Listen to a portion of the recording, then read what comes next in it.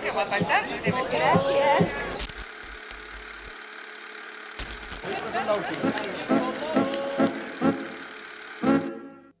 Yo pienso que la minería y la búsqueda del yo están relacionadas en, el mero hecho de intentar desenterrar cosas. ¿no? Eh, esa idea que desde el principio del siglo XX eh, se ha convertido en algo como arquetípico, ¿no? Eh, una persona intentando desenterrar y desenterrar los lugares más oscuros y recónditos para llegar a encontrar algo que se supone que es de mucho valor y que en muchos casos lo es, en otros casos es posible que nos lleve a decepciones, en, en, algunos casos tiene algo que ver con la realidad, lo que encuentras, en otros casos sigue siendo una ficción, eh, siguen siendo construcciones de uno mismo y demás. Entonces, bueno, yo pienso que puede ser una, una manera de relacionar esas dos cosas. Hay diferentes tipos de subastas.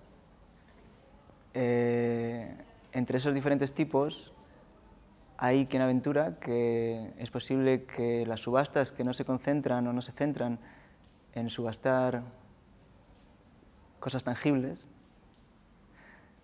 pueden llegar a ser más interesantes que, las subastas que, se proponen lidiar con objetos. ¿no?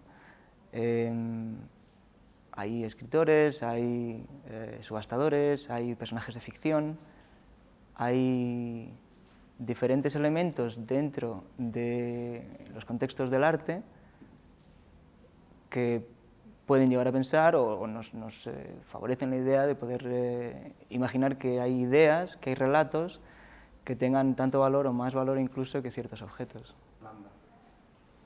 Bueno, es, eh, mi trabajo personal como artista en los últimos cuatro o cinco años se basa en intentar mirar a diferentes historias de ciertos gestos o de ciertos objetos me intereso por las biografías de los objetos, de, los gestos, de las palabras, me interesa la etimología.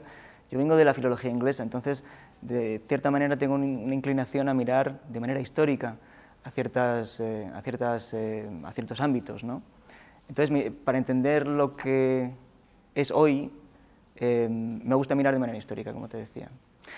La idea con, la película era intentar tratar un tema que yo por el que yo había estado preocupado durante algún tiempo y quería intentar investigar. Entonces, eh, en esta película lo que intento es unir eh, dos cosas que en un principio pueden parecer distantes, pero yo pensaba que no lo estaban tanto. ¿no? Por un lado, eh, de manera muy íntima, está ese momento en el que uno intenta definirse a sí mismo, ¿no? ese momento en el que intenta escribir su propia autobiografía. No hace falta escribirla, pero simplemente definir dónde está. ¿no? Pues yo soy esta persona, me gusta aquello, no me gusta esto otro, eh, yo pienso que tengo más tendencia a hacer este tipo de cosas o me gustaría relacionarme con este tipo de gente, tú de alguna manera intentas definirte, ¿no?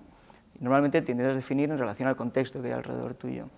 Para mí ese es el primer peldaño que hay hacia eh, una escalera que acabaría en ese intento por escribir la historia con H mayúscula, ¿no? esa idea de la historia que se escribe, el relato que se escribe. Para mí esos dos relatos, el más íntimo y el más general o el más público, se podían unir eh, de alguna manera y es lo que he intentado en esta película.